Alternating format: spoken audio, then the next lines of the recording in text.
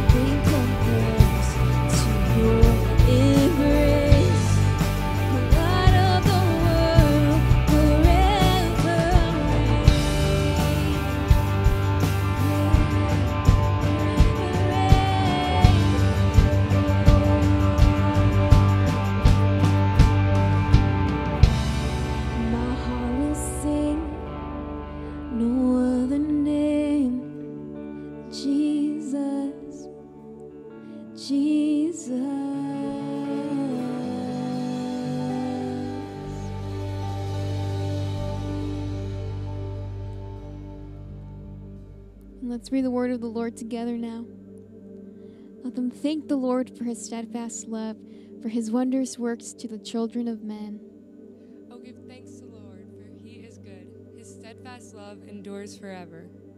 Oh, how abundant is your goodness, which you have stored up for those who fear you and worked for those who take refuge in you. In the sight of the children of mankind, in the cover of your presence, you hide them from the plots of men.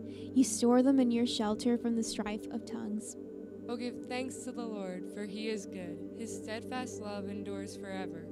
When I thought my foot slips, your steadfast love, O Lord, held me up. When the cares of my heart are many, your consolations cheer my soul. Oh, give thanks to the Lord, for he is good. His steadfast love endures forever. For God so loved the world that he gave his only Son, that whoever believes in him should not perish, but have eternal life. For God did not send his Son into the world to condemn the world, but in order that the world might be saved through him. Oh, give thanks to the Lord, for he is good. His steadfast love endures forever.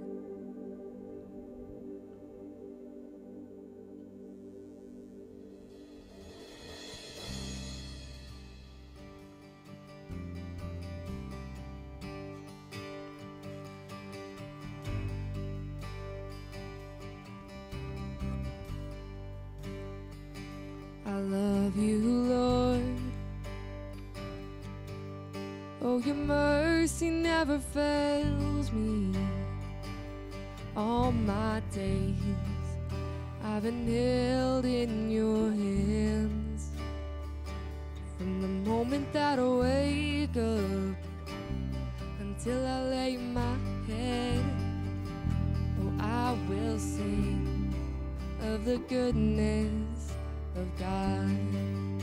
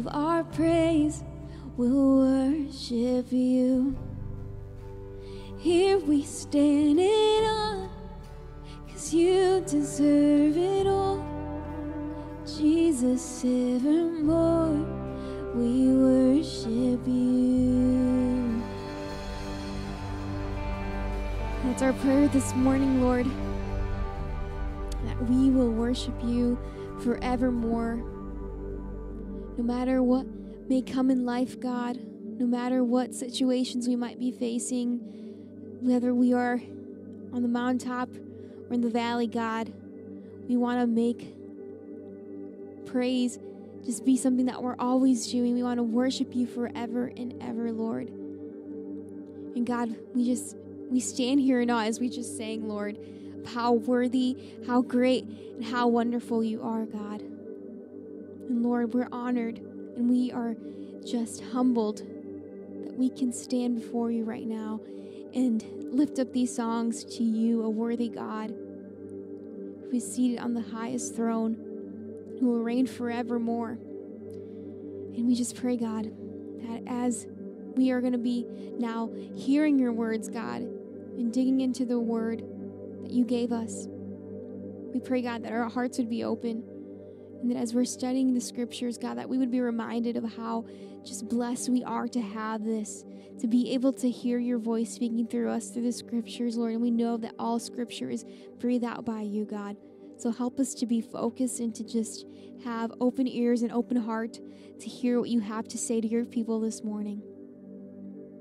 God, we worship you, we praise you, and we love you. We pray all of this in Jesus' holy name. Amen. We're going to continue now in worshiping the Lord by digging into the word together. Good morning, church. It's good to be with you in this fall season, just started this week. We're completing our study on seeing our faith with 2020 vision. Last week, we began looking at our 2020 vision regarding serving, and today is going to be part two of our vision on serving.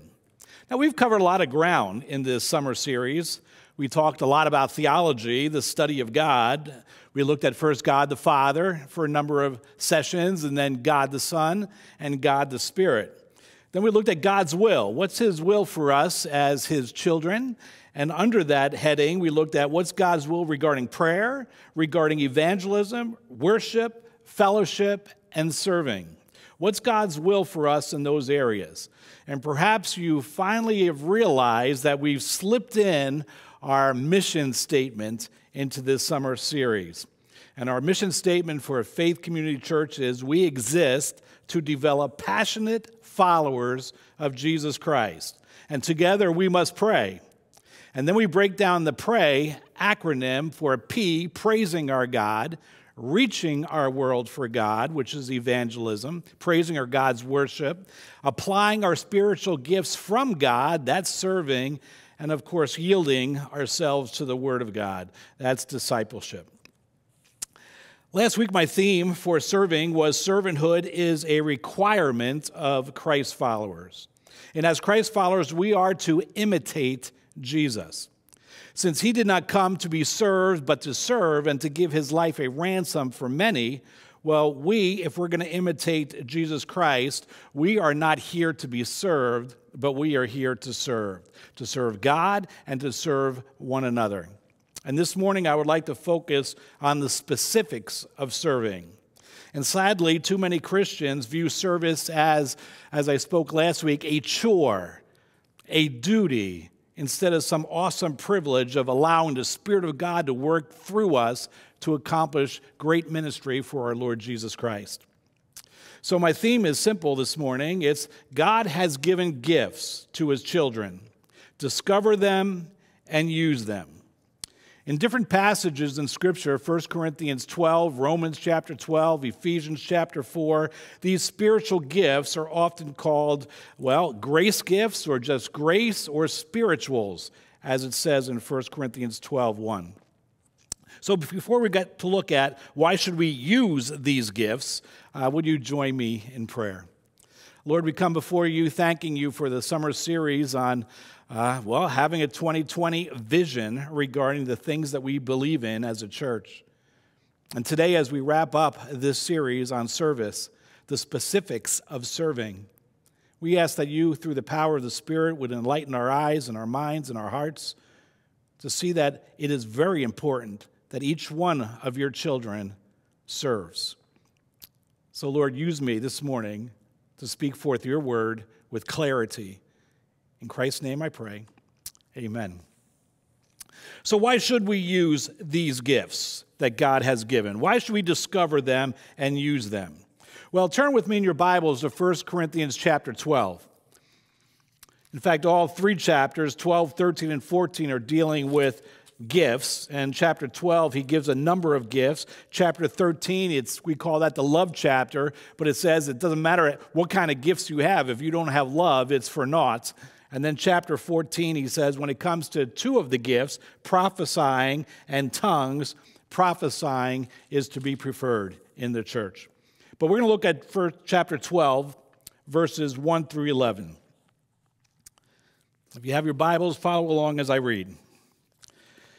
Now, concerning spiritual gifts or spirituals, brethren, I do not want you to be unaware. You know that when you were pagans, you were led astray to the mute idols, however, you were led. Therefore, I make known to you that no one speaking by the Spirit of God says Jesus is accursed, and no one can say Jesus is Lord except by the Holy Spirit. Now, there are a variety of gifts, but the same Spirit. And there are varieties of ministries and the same Lord. There are varieties of effects, but the same God who works all things in all persons. But to each one is given the manifestation of the Spirit for the common good.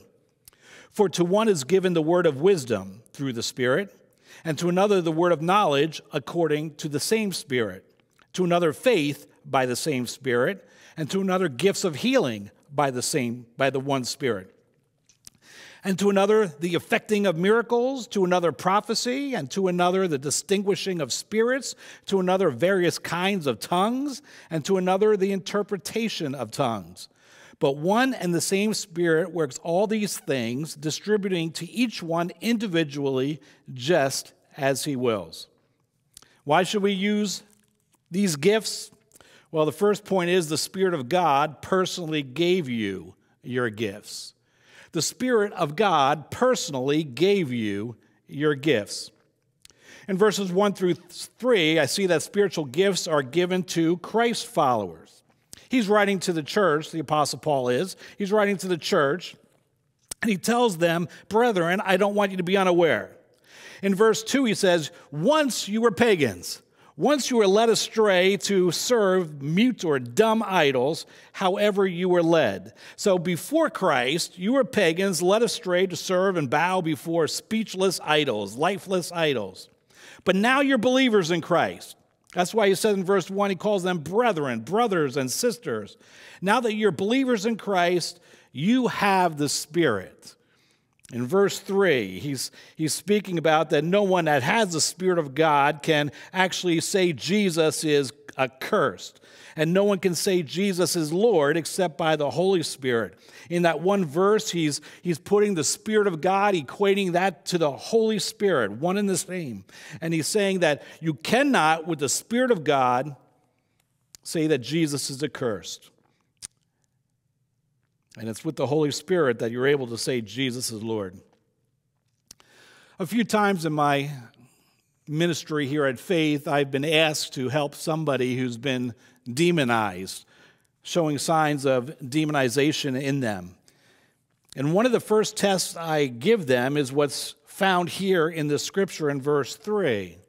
After speaking with the individual, I ask them, Is Jesus Christ your Savior? Many times they say yes. And then I would say, Well, then what I'd like you to do is to say, Jesus is my only Lord. Can you say that?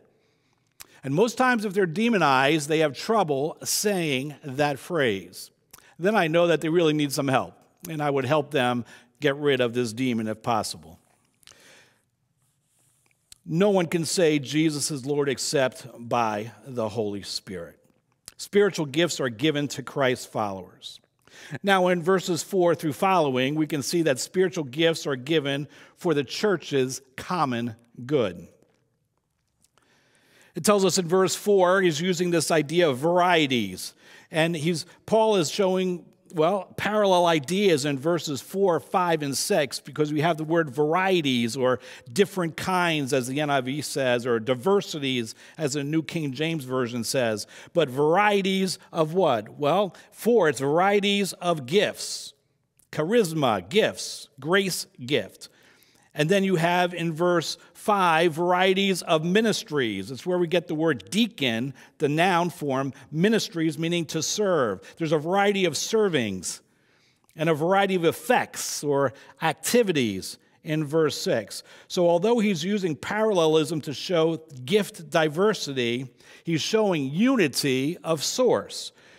He's talking about the Trinity. In verse 4, we have the same Spirit. In verse 5, the same Lord, meaning Jesus. And then in verse 6, the same God, referring, I believe, to God the Father.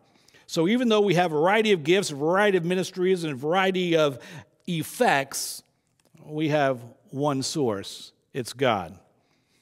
And in verse 6 at the end, it says, It's God who works all things in all people or as some other versions say, in everyone. It's God who is working these things in you as the believer.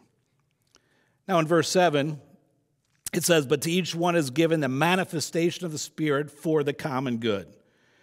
The gift is called a manifestation of the Spirit. To manifest is to show or to make visible. And so here we have the Spirit that's taken this gift and making it visible to others. Others observe that you have this gift. And the purpose of giving a variety of different gifts to the body of Christ is for the church's common good, as it says at the end of verse 7. Now, verses 8 through 11, we have a partial list of the gifts from the Spirit. If you bring, if you download the notes that are on, um, well, on the website for you, you'll see that on the back side, I have given you a list of the gifts found in 1 Corinthians 12 and I'll just go briefly through them. In verse 8, we have the word of wisdom. This is the ability to apply spiritual knowledge and spiritual scriptural principles to complex issues. The word of knowledge is the ability to learn, to know, to explain information effectively, especially the truths of God's word. Faith is the ability to trust God in the face of insurmountable odds. Now, we're all to have faith, but some having a spiritual gift of faith. Gifts of healing, the ability to heal by the Spirit's power. The effecting or working of miracles. This is often called signs and wonders. Prophecy or prophet. It's the ability to speak forth God's message, and secondarily, to foretell of the future. Remember, there is a prophet named Agabus in the book of Acts who in Acts 11 28 predicted there would be a famine in the world. And then in Acts 21, verses 10 and 11, the same man, Agabus, predicted Paul's arrest. He took Paul's belt off and he kind of tied uh, Paul's hands together and says, This is what's going to happen to you if you go to Jerusalem.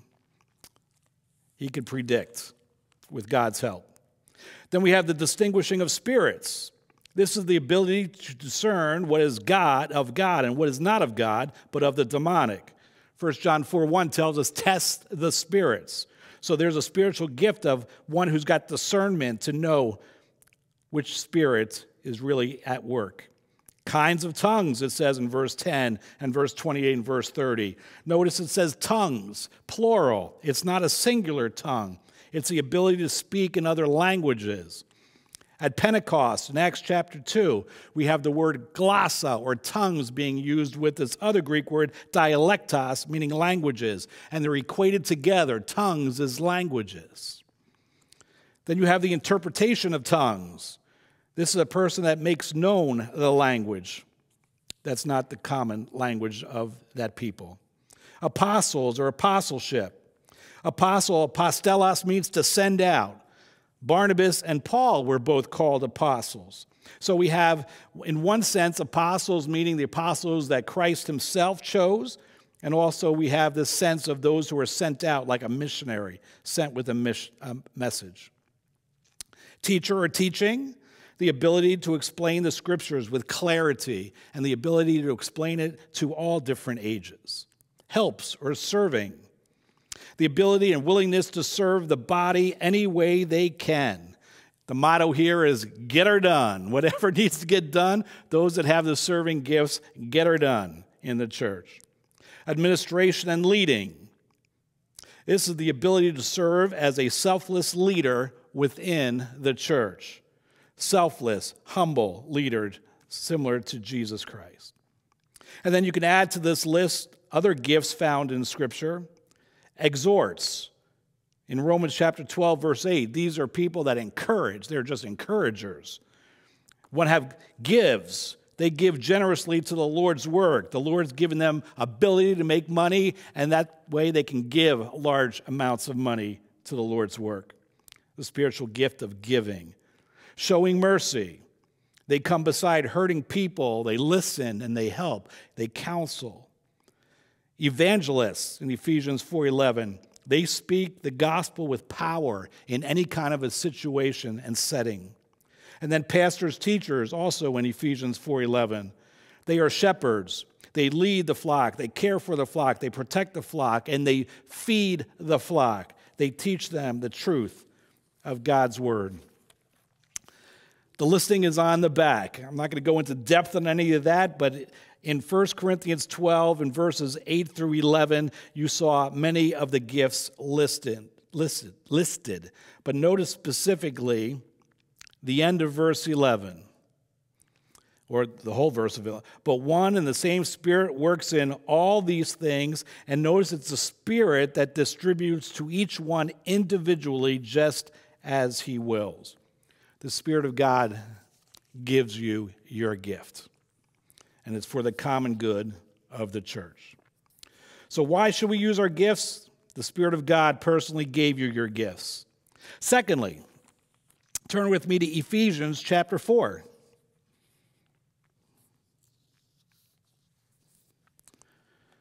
What I'll be reading, I think, is making the point here that the strength of a church is proportionately correlated to the number of people using their giftedness. That's a long sentence. Let me say it again. The strength of a church is proportionately correlated to the number of people using their giftedness. Paul in chapter 4, he begins talking about unity at the very beginning. In fact, verse 3 being diligent to preserve the unity of the Spirit in the bond of peace. Notice the unity in verses 4, 5, and 6. There is one body and one Spirit, just as also you were called in one hope of your calling, one Lord, one faith, one baptism, one God and Father of all who is over all and through all and in all. Stressing unity.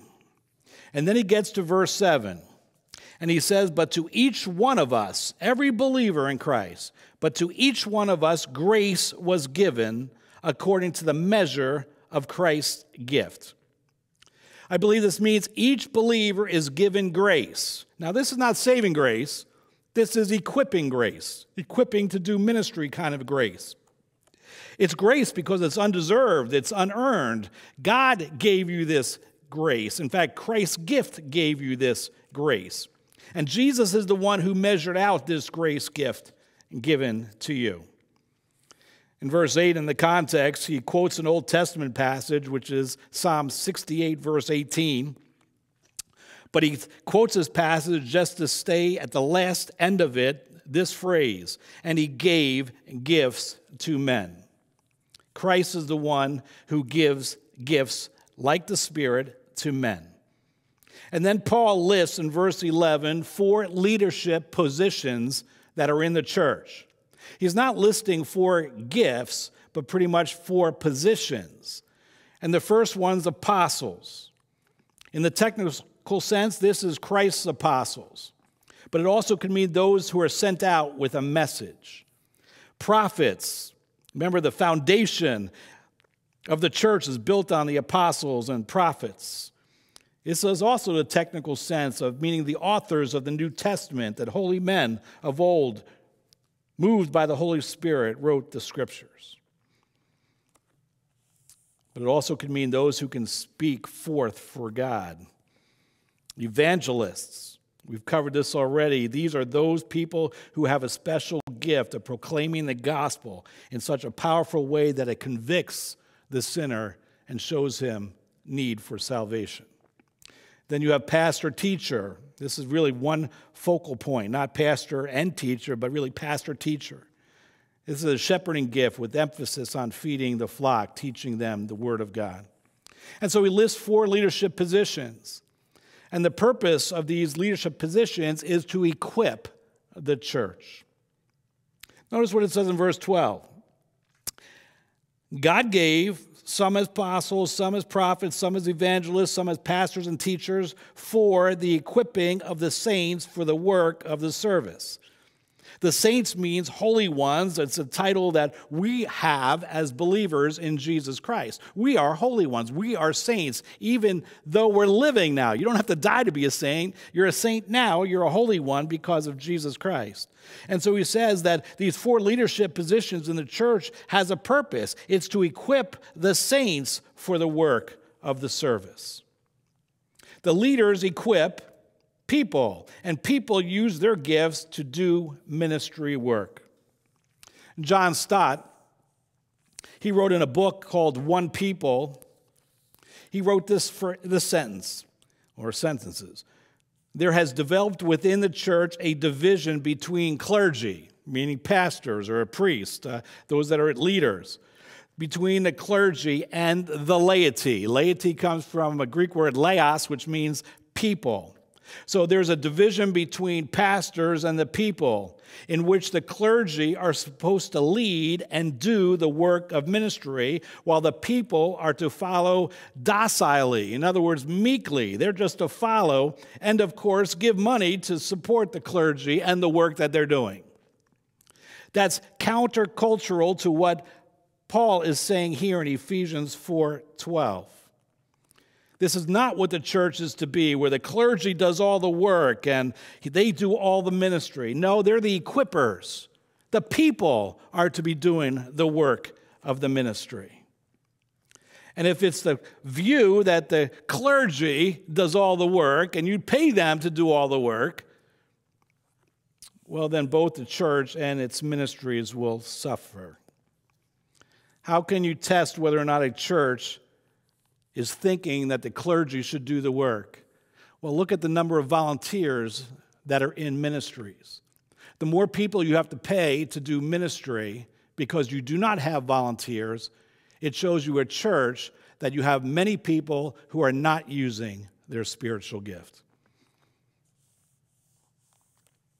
And the church will end up suffering because of it. And in verses 12 through 16, we can see that the outcome of leaders and people who use their gifts in ministry will become a strong, healthy church. Read along with me as I read verses 12 through 16. For the equipping of the saints for the work of service, to the building up of the body of Christ, until we all attain to the unity of the faith and of the knowledge of the Son of God, to a mature man, to the measure of the stature which belongs to the fullness of Christ. As a result, we are no longer to be children tossed here and there by waves and carried about by every wind of doctrine, by the trickery of men, by the craftiness and deceitful scheming. But speaking the truth in love, we are to grow up in all aspects into Him who is the head, Christ, from whom the whole body, being fitted and held together by what every joint supplies, according to the proper working of each individual part, causes the growth of the body for the building up of itself in love. See, the outcome of leaders and people using their gifts in ministry will be a strong, healthy church. At the beginning of verse 12, actually the end part of verse 12, you have to the building up of the body of Christ. And at the end of verse 16, you have causes the growth of the body for the building up of itself in love. So it's like brackets or bookends. The phrase building up the body of Christ is the reason why we use our gifts in ministry, that the church might be built up. But another outcome is unity of the faith, it said in verse 13. A growing in our knowledge of the Son of God, it said in verse 13. And then in verse 14, we develop a strong theology so that we wouldn't be gullible children who are easily deceived by the trickery of men. A unity of the faith. Another outcome is that we become mature, spiritually mature it says in verse 13, a mature man, actually a perfect man. It goes on to say in this idea of maturity, moving toward the fullness of Christ, becoming more and more like Jesus Christ, it says in verse 13. In verse 15, we are to grow up in every way into Christ, who is the head. And another outcome is since Christ is the head and we are the body, and He purposely fitted and holds us together. And when each individual is properly working in love, then the body of Christ, meaning the church, will grow and be built up. But you notice the converse is also true. When the body, its leaders, and its people do not use their gifts, then the body or the church stops growing, becomes unhealthy, becomes weak. Christ is the head, the church membership is the body. We are the body, and we are to use our gifts to make the body strong. And the strength of a church is proportionately correlated to the number of people using their giftedness. Thirdly, why should we use our gifts? Well, because God will reward you for using your gifts. He's going to reward you when you use your gifts in ministry.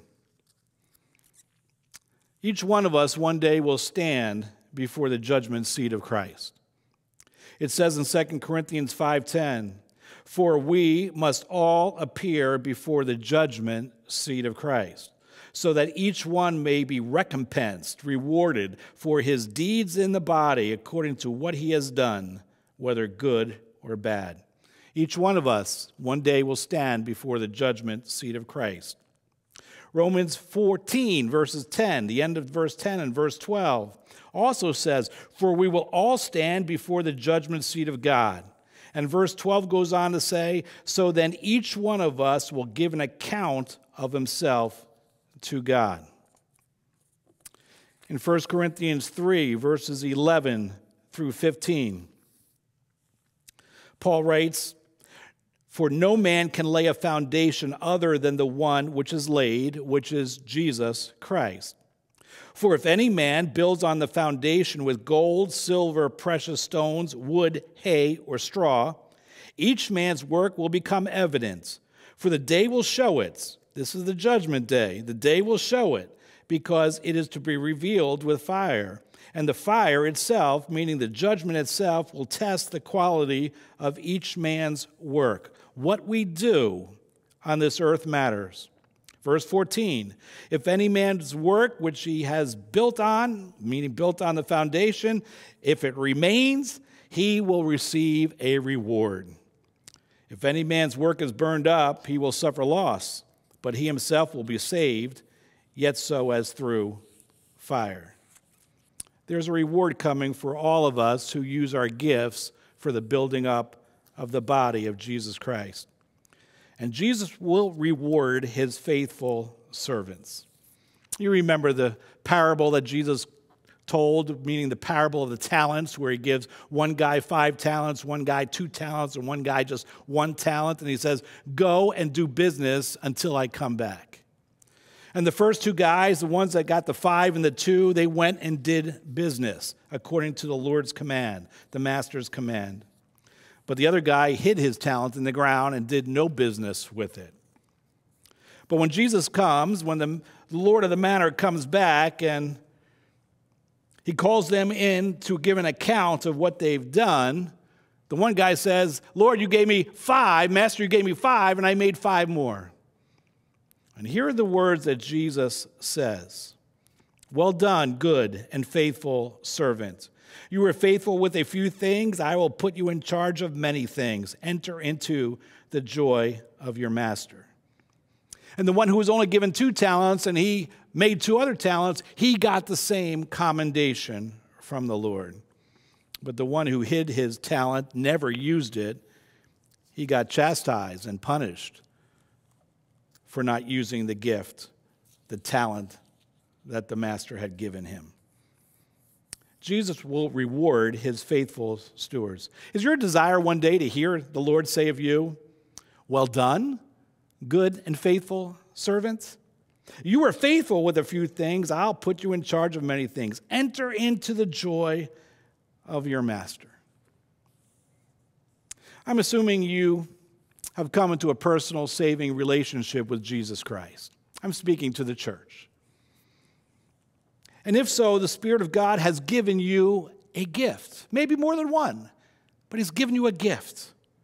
You and I have a special gift, a grace, so to speak, undeserved, unearned. It's just given to us by God. Do you know what your gift is? Have you been using your gift in some kind of ministry for, for Christ?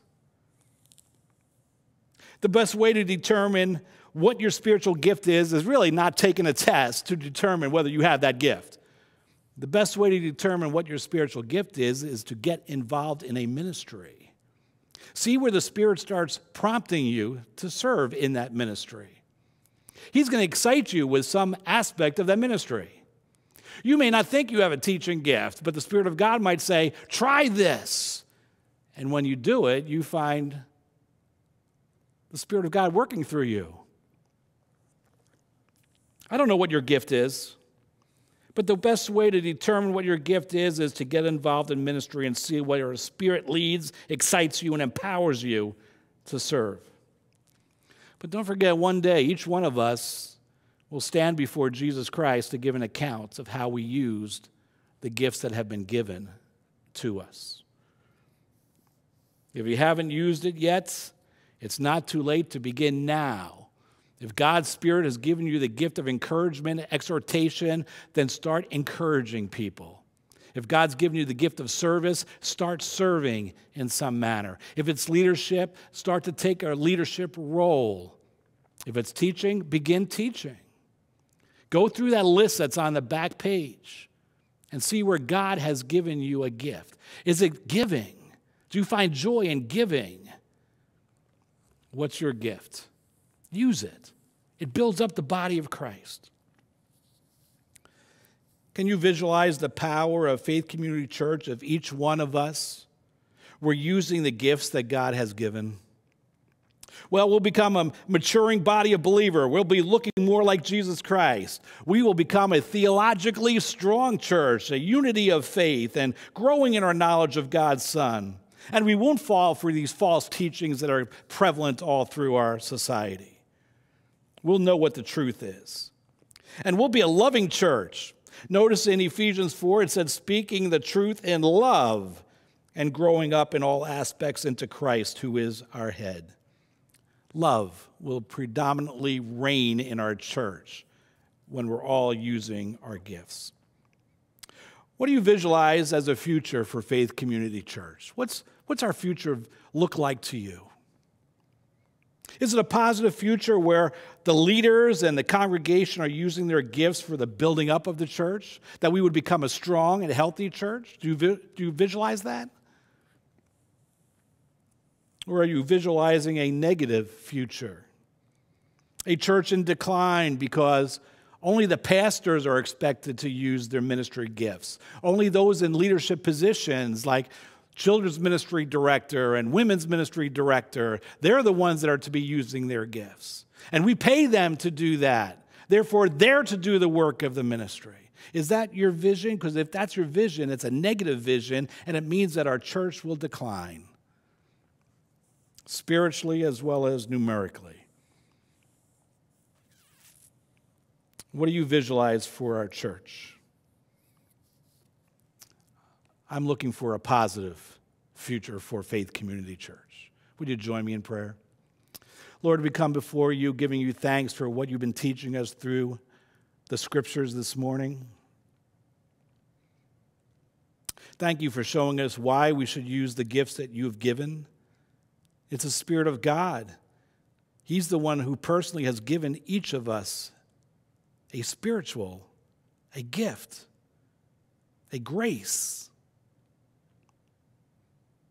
And Lord, it is clear that the number of people who are using their gift will be correlated to whether we're growing or declining as a church. We thank you that even though you're the one who's given us a gift, you're the one that's also going to reward us for using that gift. You gave it, and you'll reward us for being faithful. I pray that our congregation will be faithful in using the gifts that the Spirit of God has given. Grow our church, Lord, not just numerically, grow us spiritually. Help us all to attain to the unity of the faith. Help us to mature in Christ so that we look like Jesus Christ as a church. We pray this in His name. Amen.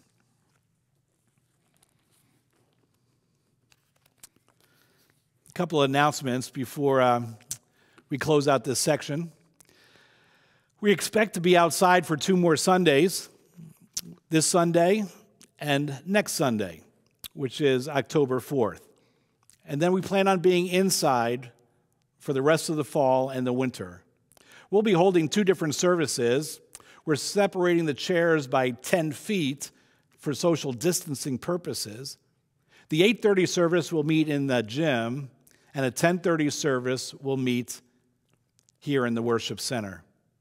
We ask that as you come into the gym and or as you exit the gym or as you come into the worship center and as you exit the worship center that you show well kindness to everyone else that you would wear a mask as you're coming in to find your seats. We look forward to seeing you in person in church on the 11th, either at the first or second service. If there's any feeling of being on unease because of this COVID 19 virus that's still out there, please continue to watch online at home. We enjoy the fact that you are watching our services. If you can, would you drop us a line, send us a, a note onto our Facebook page or through our uh, website that I've been watching the services and They've been blessing me. We look forward to getting in touch with you if you have been watching our services. God bless. Have a great week in our Lord Jesus Christ.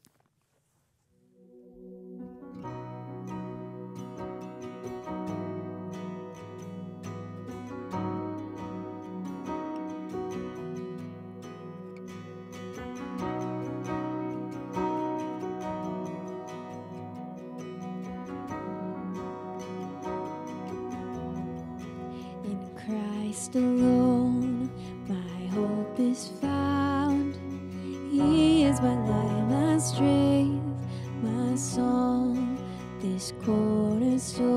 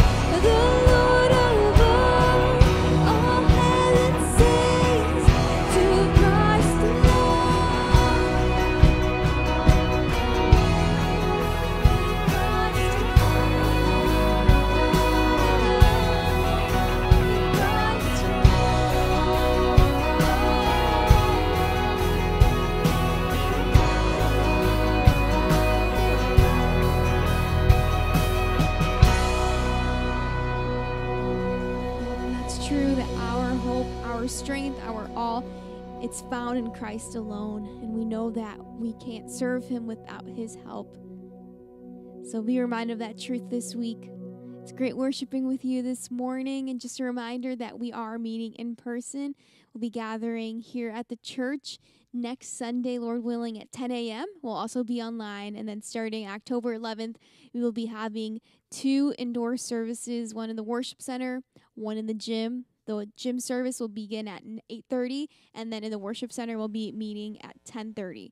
And another change is that starting October 11th, we will be live streaming the service at 10:30. So we'll be moving up half an hour. So make sure to put that on your calendars um, that we will not be having our live stream at 10 a.m. beginning October 11th, but 10:30.